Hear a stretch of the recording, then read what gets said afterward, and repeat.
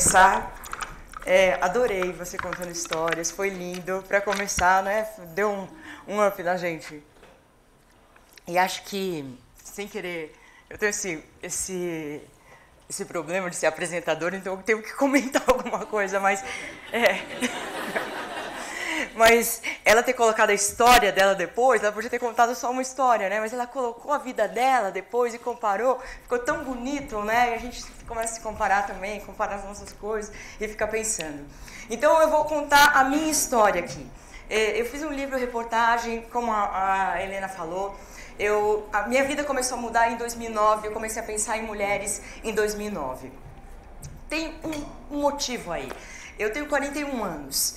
É, quando eu nasci em 71, no meio dos anos 80, eu tinha mais ou menos 14, 15 anos de idade, por aí. E nos anos 80 começou aquela mudança da mulher, Malu Mulher, aquele, aquela transformação da mulher no mundo, no Brasil e tal. A mulher começou a trabalhar, é, os divórcios já não eram aquela coisa tão pesada. Né? Eu tive minha mãe divorciada, minha mãe mãe solteira nos anos 70, então tudo isso era muito pesado. E começou a não ser tão pesado nos anos 80. Então a mulher tinha uma voz ativa muito forte. Então eu cresci com a mulher tendo esse poder, a mulher querendo crescer, querendo revolucionar. E acho que quando cheguei depois dos 30 e tudo, eu comecei realmente a pensar em fazer alguma coisa, em, em contar histórias de mulher. Acho que foi isso que me impulsionou. Muita gente pergunta por que, que te impulsionou a viajar, a em busca das mulheres. Acho que isso que me impulsionou. Dessa viagem por 12 países, e só um minutinho que está aqui embaixo, de 12 países e cada país entrevistando 12 mulheres de profissões diferentes, é, uma médica, uma professora de yoga, sábia também, porque não, não é só professora, uma, um repórter, enfim, uma arquiteta, vários tipos de profissões, saiu o programa de televisão que foi ao ar pela Record, que tem 144 entrevistas aqui nessa caixa de DVD, e depois saiu esse livro. Depois dessa viagem, eu amadureci muito, cresci muito, minha vida mudou muito, tanto que eu voltei, me separei, pedi demissão do meu emprego. e tudo mudou. Antes de eu começar a contar a história das mulheres, eu queria que vocês assistissem um vídeo, que é um vídeo de, vídeo de chamada do programa, e dá para vocês, um vocês verem um pouquinho as mulheres, pelo menos em vídeo, para vocês terem uma ideia. A gente fez uma modificação nesse visual, porque a gente queria que eu fosse o mais simples possível, para não ficar. para eu ficar livre dessa coisa loira, grande, é, colorida que sou. Né? E, e tá, sim, tanto que as roupas eram roupa, um macacão de uma cor só, uma cor em cada país, né? Não tinha, era reto. E elas estavam floridas, elas estavam do jeito que elas eram. E eu, muito simples. Então, mudei a cor do cabelo, alisei o cabelo, cortei e, e, e tal como vocês estão aqui. Então, muito simples, muito claro, muito clean. Então, foi essa mudança que a gente fez para esse programa, que foi todo pensado.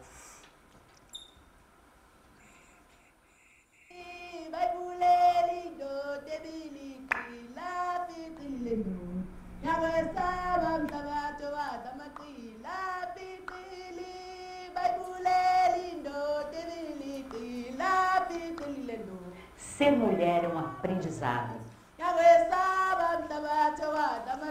Para conhecer um mundo novo, o um mundo de 12 mulheres, eu vou fazer uma grande viagem e revelar as paixões, as personalidades e os sonhos das mulheres do mundo. Nós vamos conhecer a mulher tailandesa, a mulher filipina, a mulher vietnamita, a mulher holandesa e as mulheres de mais oito países.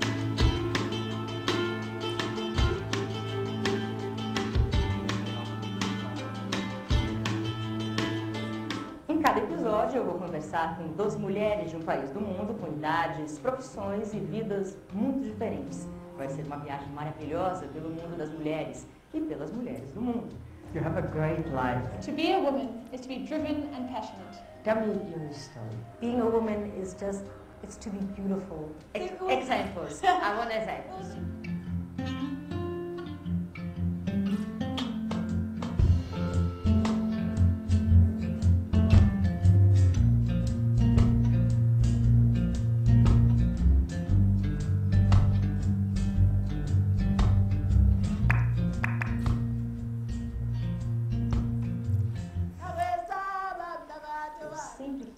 conhecer melhor a mulher da África. E achei melhor começar nossa grande viagem através do mundo de 12 mulheres pela mulher africana. Um grande poeta brasileiro já escreveu que todas as mulheres são iguais, mas cada uma é diferente da outra. Nós vamos descobrir por quê. Eu tenho certeza de que você vai se surpreender muito.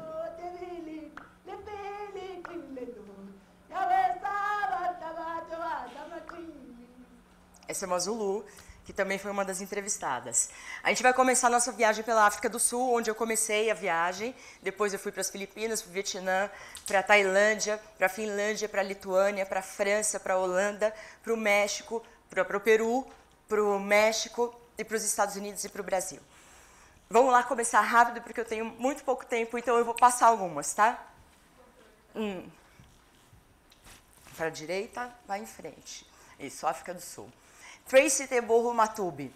Todas elas me ensinaram muito, todas elas me inspiraram muito. Assim, eu fiquei pelo menos três horas com cada uma delas, que me contaram coisas íntimas, íntimas que a história delas me ensinou muito. É uma mulher linda, é uma mulher é, que tem muito a ensinar. Ela é PhD em saúde pública, médica, nasceu e estudou durante a apartheid, que não é uma coisa fácil para uma negra.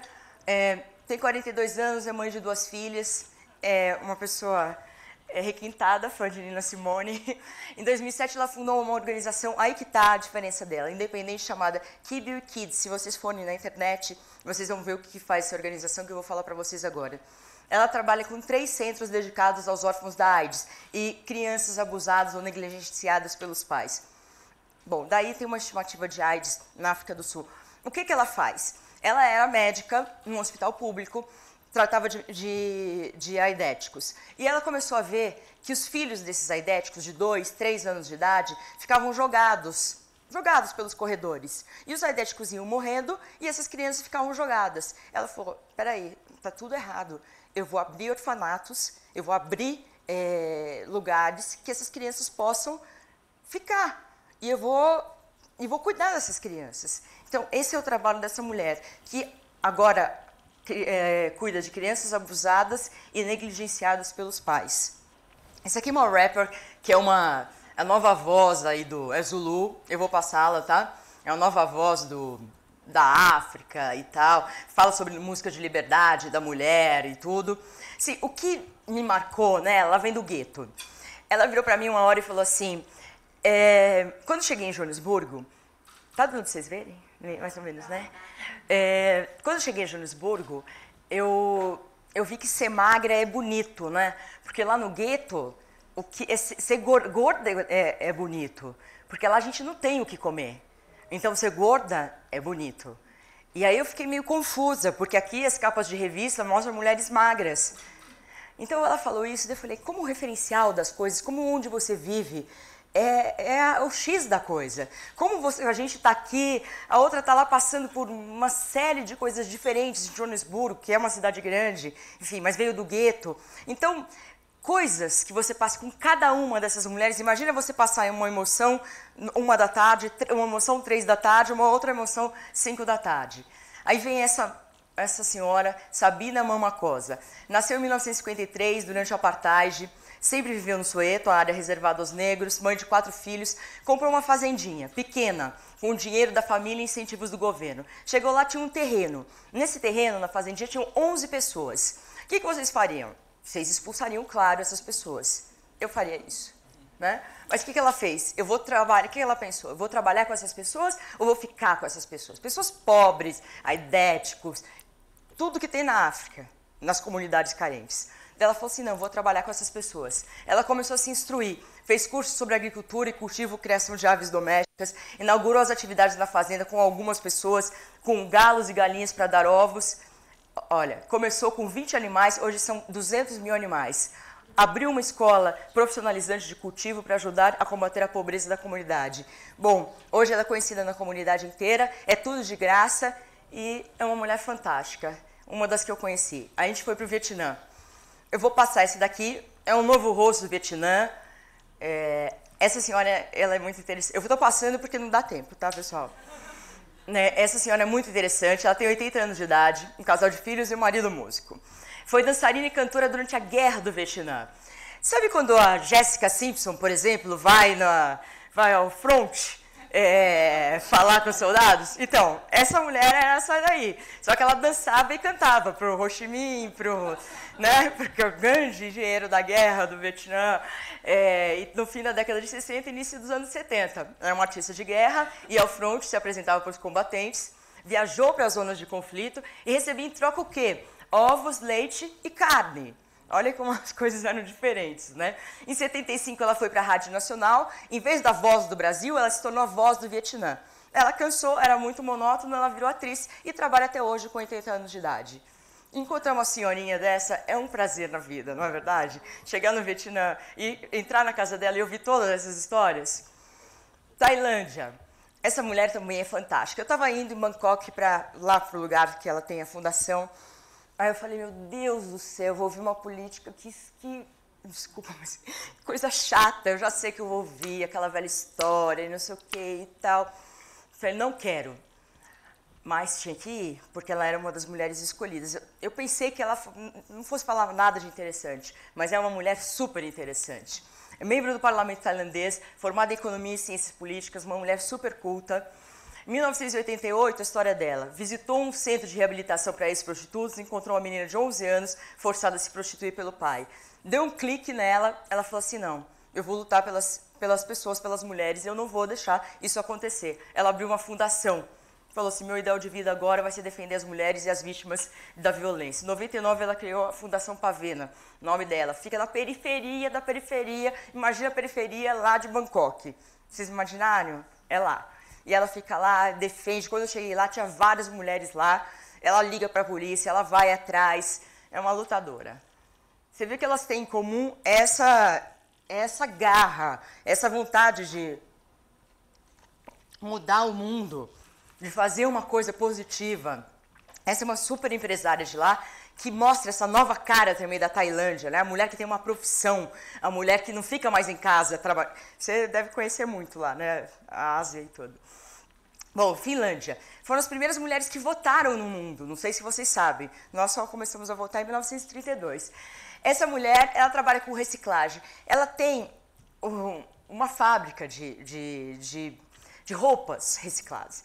Mas quando a gente fala de reciclagem e roupas, a gente pensa que é um paninho, né? Meio mal feito, aquela coisa meio mais ou menos, né? Não é assim. Ela tem. Ah, peraí.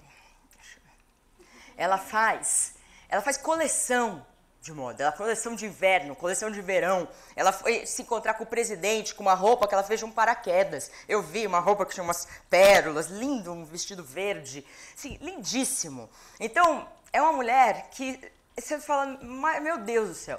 Tem 51 anos, designer, fundadora dessa organização. Vocês entrarem na internet, tem cole coleções de verão, de inverno, sapatos, bolsas, tudo. Globe Hope. É, eu até ia mostrar uma foto, esqueci de colocar a foto. Fabricação de roupas, acessórios. Ela vive na fazenda, perto, lá de Helsinki, longe de Helsinki um pouco. Quatro filhos, neva, neva, neva. Não sei como ela consegue viver na fazenda. Quatro filhos, dois pôneis e um cachorro. A mãe, ela aprendeu com a mãe, que fazia das roupas novas, roupas novas com as velhas. Né? E em 2003 ela lançou essa Globe Hope, Uh, tem uma lojinha assim que negocia roupas com o Japão e também com a Europa. É uma mulher que trabalha com, com o que tem de mais novo no mundo. Né? Essa aqui é uma bailarina super conceituada na, na Finlândia. A gente vai para a Lituânia. Essa menina, é, o sonho dela era viajar, era sair, foi criada durante o regime da União Soviética, era sair do país, conseguiu, e a, a noção de viagem para ela é totalmente diferente da noção de viagem para a gente.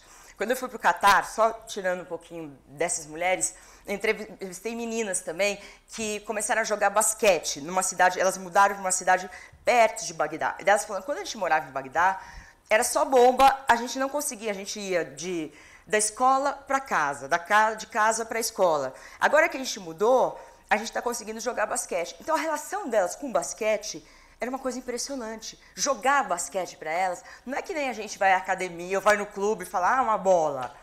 Não era isso. Era a vida delas jogar basquete. É muito mais importante do que a gente pode imaginar. Então, a vida dessa mulher, a viagem para ela, da outra que passou, era uma coisa impressionante. Ela fica com a mala na porta, ela viajar para ela é uma coisa fenomenal. Essa senhora é uma senhora, Verônica, o resgate das raízes. Nasceu em 46, cantava desde pequena com a família. A única forma que ela achou para manifestar a cultura lituana foi essa, através da música folclórica. As canções falavam sobre o pão, elas, as amigas se reuniam nas cavernas, porque a KGB ficava atrás delas até que não conseguiram mais cantar e tal. Era a única forma de manter o folclore, porque a União Soviética queria acabar com tudo, né? Bom, depois, 91, veio a liberdade e ela se tornou cantora, se tornou, fez da música a sua profissão. E aí ela cantou pra gente. O vídeo é muito gostoso de ver. Eu, eu explicando não é tão, tão bacana, né? Assim, eu, eu explico o melhor que eu posso. Mas o vídeo é muito gostoso de ver, a entrevista em vídeo. Daí a gente vai para a Holanda. Esse aqui é um pouco controverso, ninguém está falando que é a favor nem contra o aborto, mas eu tenho que explicar o que essa mulher faz. Essa mulher é uma médica e ela é ativista. Ela decidiu criar uma organização que chama Woman on Waves. Também tem na internet, vocês podem ver. Foi em 99. Ela fez uma viagem para a América do Sul, viu mulheres violentadas que tinham engravidado e era deslegado o direito ao aborto. Ela falou assim: não, isso não pode acontecer, eu tenho que fazer alguma coisa. Ela viu diversos números de mulheres que, que morriam no, durante o aborto. Ela falou assim: não, isso não pode acontecer, eu tenho que fazer alguma coisa. Criou essa, essa organização independente promove campanhas de navio por águas internacionais, realizam abortos legais em países onde a prática não é permitida. É uma espécie de navio clínica. Como ela faz isso? A embarcação ancora a 22 quilômetros da costa. O navio fica a 22 quilômetros da costa. Com essa, com essa quilometragem aí, a essa distância, as leis do país mais próximo não se aplicam e o aborto é feito de acordo com a lei do navio. Então é feito de acordo com a lei holandesa, certo? E não com a lei brasileira, e não com a lei argentina, ou não com a lei, com a lei que está se referindo. Eles dão duas pílulas, você pode fazer com as mulheres até nove semanas de gravidez, podem tomar essas pílulas, depois não pode mais. E a mulher pratica o aborto.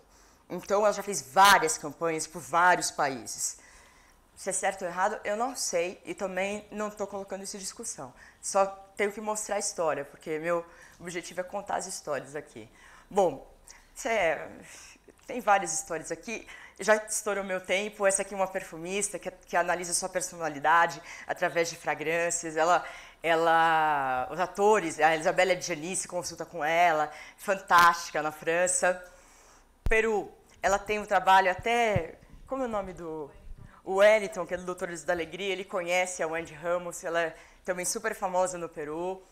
É, a base dessa minha reportagem do livro é de mulheres comuns, mulheres que ficaram conhecidas na sua comunidade, pelo, pelo trabalho, ou social, pelo, pelo trabalho que, ela, que, elas fizeram. De alguma forma elas se tornaram conhecidas. Por exemplo, Márcia de Luca, ela é famosa na comunidade dela, não é? Agora, se você pergunta para o neguinho lá da, sei lá, do Ceará, fala assim, Márcia de Luca, de repente não sabe, não é, Márcia? Então, mas todo mundo te conhece no, que você faz e as pessoas cultas te conhecem. Então, mas, então esse é o objetivo, pegar pessoas assim, assim desse tipo, né? Como a Márcia, como vocês e tal. Era o objetivo do trabalho.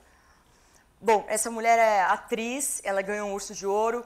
Ela, não sei se se lembram que ela cantou no Urso de Ouro. É, ela ganhou pela La Testa Assustada. Ela tem uma história com o Sendeiro Luminoso. A avó dela foi foi morta, a avó dela foi morta pelo Sendeiro Luminoso, a mãe enterrou o corpo, dela fez um filme que tem a ver com o Sendeiro Luminoso, também foi ótima a entrevista. Mecânica, ela é mecânica durante a semana, no final de semana ela põe um monte de flor e tal. Ela já gravou um CD, DVD, fez até um calendário dela mesma, fotografou. ela criou, criou. Estados Unidos, que é a última, essa menina foi capa da Playboy aos 19 anos, com 22 pegou AIDS, participou daquelas festas que a gente vê no I, né? no I, glamour e tal. Com 22 pegou AIDS, aí tentou suicídio, droga, fez de tudo. Daí eu dei um clique nela e falou assim: não, vou parar e vou fazer alguma coisa que vai realmente mudar a minha vida e vai ajudar a vida dos outros. Virou uma ativista Hoje faz palestras no mundo inteiro, está na internet também. E, além disso, virou fisiculturista. E ela fala, por quê? O, a AIDS vai consumindo todos os músculos, por isso não paro de me exercitar. Tá bom? Obrigada mesmo.